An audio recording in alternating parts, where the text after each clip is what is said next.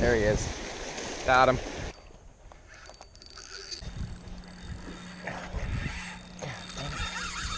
Oh my god. Well, as you can see, it's very early.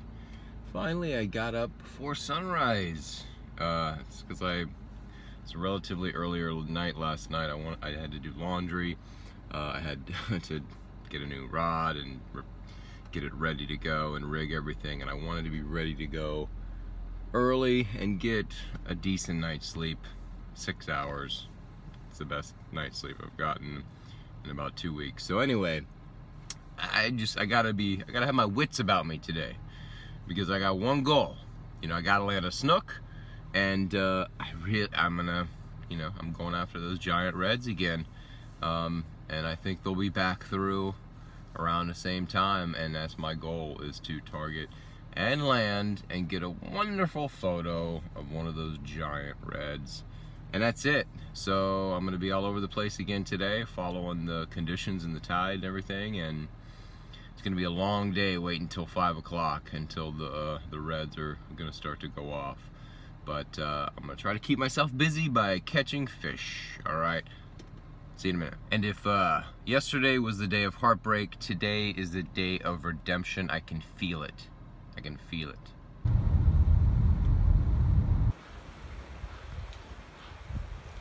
Looks nice out.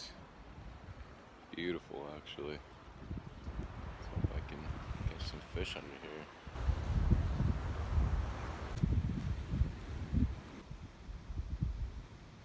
Alright, not much is happening. Uh, not a bite, not a fish, not activity, no one else. So, uh, I don't know. I may try here for a few more minutes and then uh, hit Ding Darling, see if I cannot catch one of those uh, big snook in there. And uh, that's it. Then I'm basically just waiting the day out until uh, high tide and the giant reds.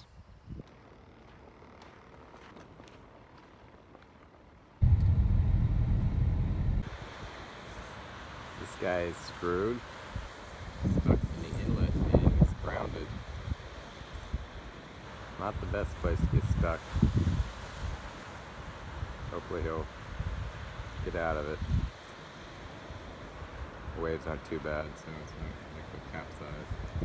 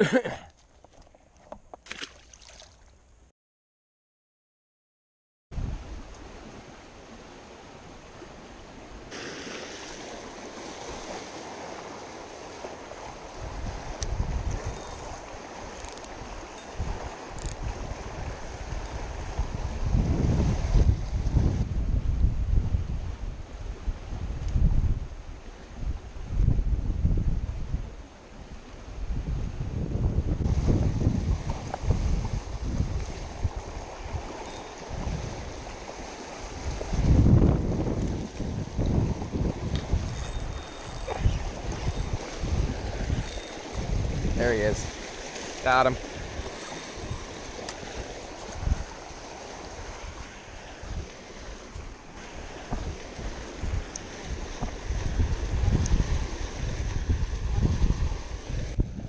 Got him.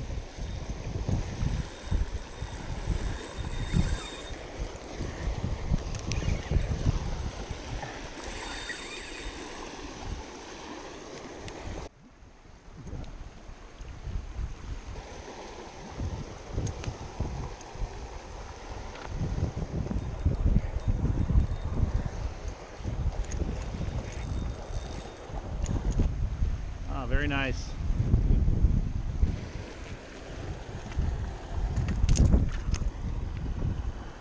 Ah!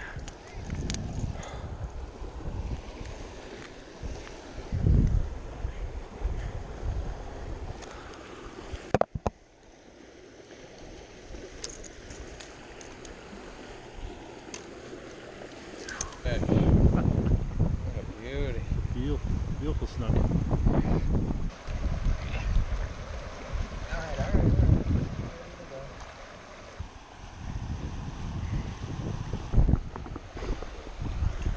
Finally caught a snook. And it's a nice snook, and he was here yesterday. And he was aggressive going after the barracuda, went after the mangrove. I just knew with the right bait, and I had a little pinfish on there. And uh, he tore it up as soon as it hit the water in the spot where I knew he was. That was it. He, he just he took it immediately.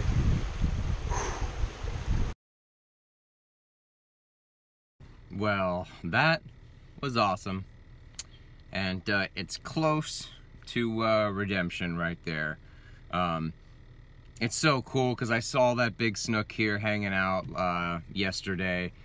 And I, I hooked a mangrove and he aggressively went after it, but he wasn't interested. And then I hooked that barracuda and the snook was hiding under the dock or under the little thing here. And he just like a, just torpedoed after that barracuda, but again, wasn't interested. And I was thinking it probably would take like a ladyfish or a big mullet for him, but uh, I was also thinking maybe a pinfish, and it was small, but as soon as I threw it in the water, I almost didn't stay. I just was looking at the situation, just didn't look good, and the, the you know the current's going the wrong way, and I was just kind of like, Ugh. and then I was like, ah, I'll throw that, and then I actually I saw him in there, and I was like, all right, let's see if he'll go after the pinfish. It wasn't in there five seconds, uh, and bam, grabbed him, and it was on the stout rod, so I'm not losing another big fish today. Not gonna do it. And if those reds are back at the at the uh, pier, and I got pinfish, look out. Just look out, redfish. Look out. Gotta finish strong, right?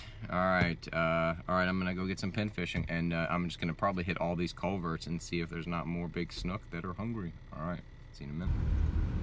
Even in Sanibel, I get stuck behind a Prius. I guess it's not just an LA problem.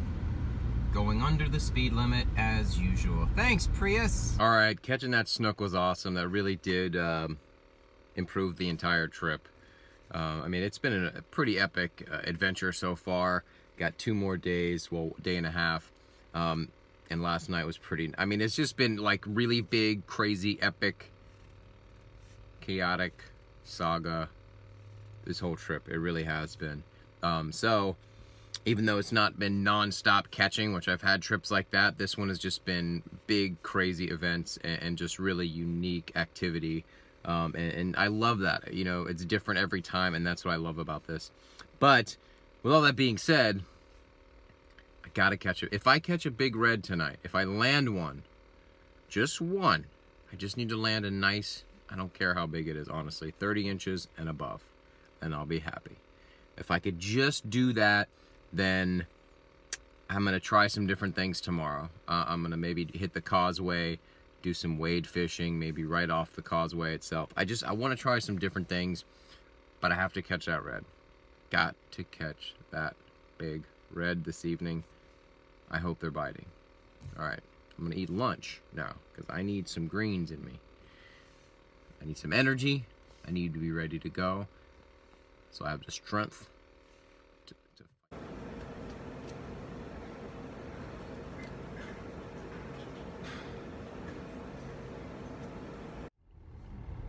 All right, so I've been waiting all day for this, right?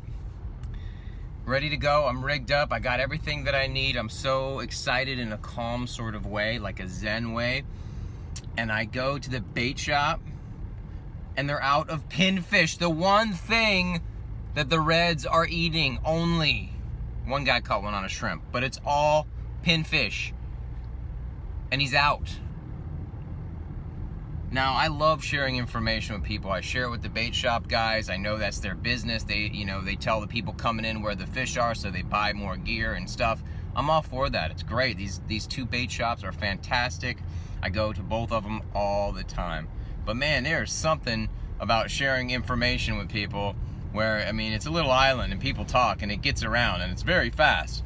And if you say that they're only biting on pinfish, next thing you know, some guy comes into the bait shop and buys two dozen pinfish. Like just cleans them out.